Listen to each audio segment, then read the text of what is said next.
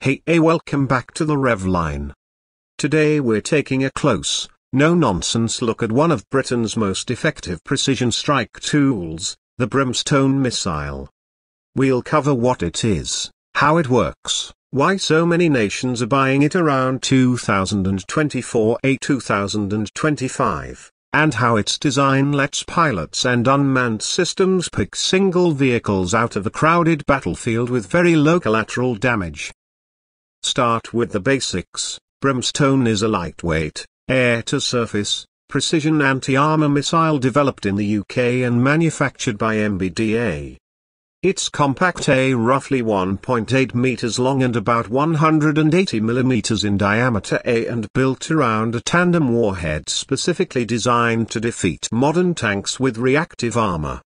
The missile's guidance has evolved. The original Seeker used a millimeter wave radar to find targets, while later dual-mode versions add laser guidance for even more flexibility against a wider range of threats. That mix of sensors is why pilots or remote operators can choose to strike moving armored vehicles in cluttered environments while avoiding nearby civilians or infrastructure.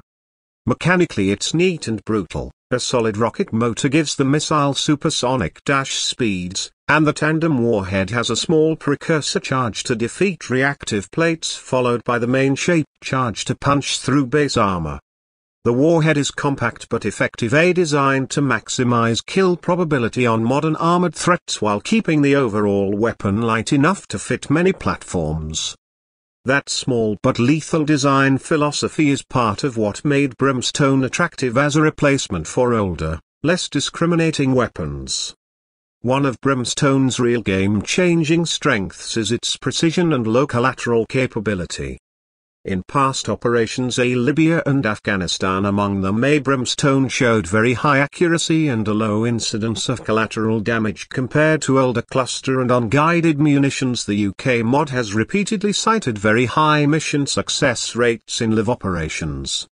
That track record is a big reason Brimstone moved from a tornado-only weapon to a multi-platform system. You'll find it on fast jets, attack helicopters, UAVs, and even in surface-launched or naval variants designed to give ground units or ships precision strike options. Over the past few years there have been clear upgrades. Brimstone 2 increased range, improved the Seeker and made the overall weapon more modular and compliant, in sensitive munition standards.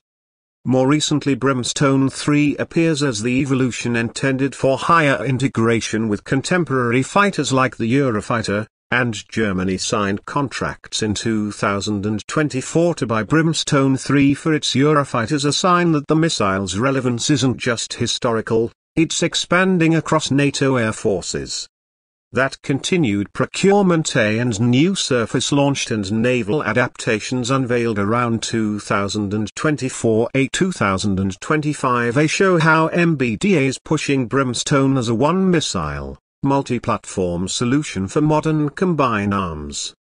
Tactically, Brimstone's fast engagement cycle and ability to discriminate moving targets in clutter make it ideal for the kinds of conflicts we see today, fluid front lines, mixed civilian, military spaces, and a high demand for precision to avoid escalation.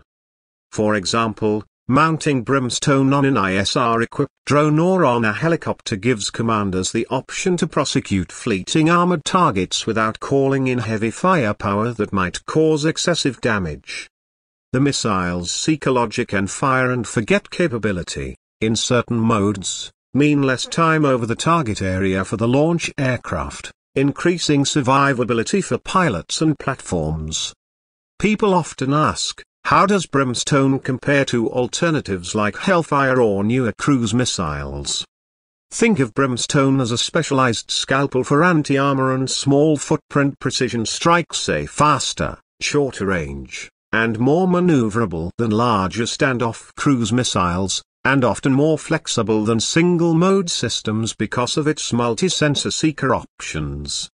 Hellfire is mature and widespread, but Brimstone's combination of millimeter wave and laser targeting, and its modular upgrades, give it unique advantages in high clutter, contested environments. For missions requiring longer reach or different lethality profiles, systems like Spear or Standoff cruise missiles come into play eh, but Brimstone fills a very specific and very useful niche.